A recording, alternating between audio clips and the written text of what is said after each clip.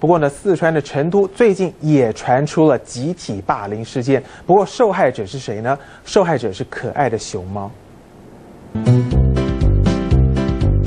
猫熊宝宝被伙伴前后夹攻，一个猛 K 它的头，另一只则是在后面紧咬着它不放。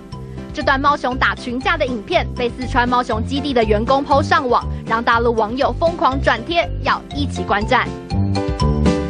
小猫熊死命地抓着婴儿床的护栏，但另一只小家伙倒是很无情，不帮它就算了，还一掌把它推下去，解决了一只，回过头继续找别只打。房间另一头还有四只小猫熊扭打成一团，不分个你死我活，绝不罢手。一只猫熊宝宝打累了，就先躺在旁边休息一下，但看到同伴被另外两只抓着动弹不得，只好提起精神再战。